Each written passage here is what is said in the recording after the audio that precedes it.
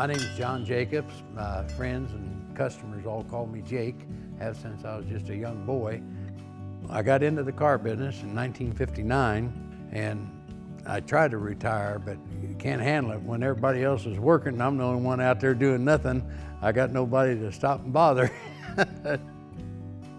when I first started having the heart problems, I was in Branson, Missouri, and that's when I mean, I just fell over in the furniture store. They didn't do heart work there in Branson at the time, so they took me by ambulance up to Springfield. I had angioplastic done there and didn't work too long. It was about a six, eight week deal.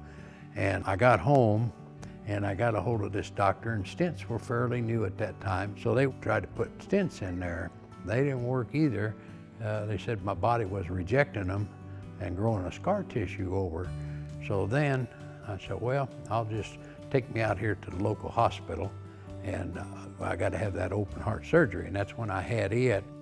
I got about 13 good years out of that. And gosh, I was right back like I was, chest pressure. I mean, if I'd walk across the parking lot, I couldn't hardly, I was done. I couldn't go any farther.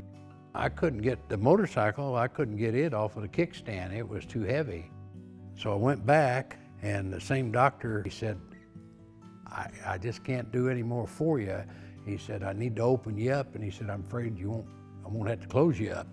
And uh, so he said, I'm going to give you medication and you go on home and just, you know, enjoy yourself much as you can.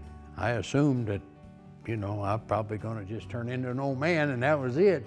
Made my uh, funeral arrangements and everything. Mr. Jacobs is somebody who had suffered with angina for years.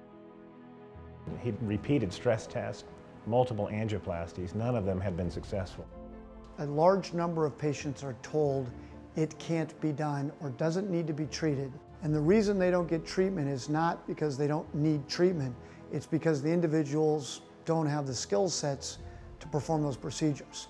The goal of the CTO community is to give those patients an opportunity to have the same treatment as other less complicated patients. I was uh, hanging out in my office one day and a couple of my friends come in, took one look at me. Well, they loaded me in the car and hustled me right on down to the hospital. I didn't figure I'd come back up. I really didn't. I mean, I, I felt horrible. I just, you know, so that's when I started looking around for a second opinion.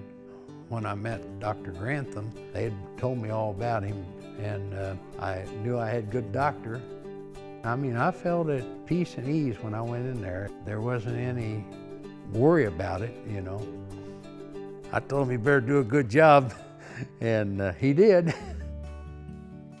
For me, there's not another aspect in cardiology where cardiologists are able to provide the, the type of benefits that we see.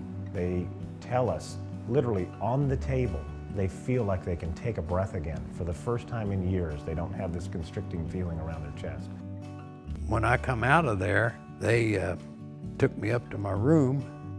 I felt like I did 20 years ago. I couldn't believe it. I went in there, I was gray looking, come out of there with color. And I had sold my motorcycle thinking I wasn't gonna get to ride it no more. I got on telephone, ordered me a new one. and uh, the next day I went home and I've been going strong ever since. Uh, I'm six days a week at my shop.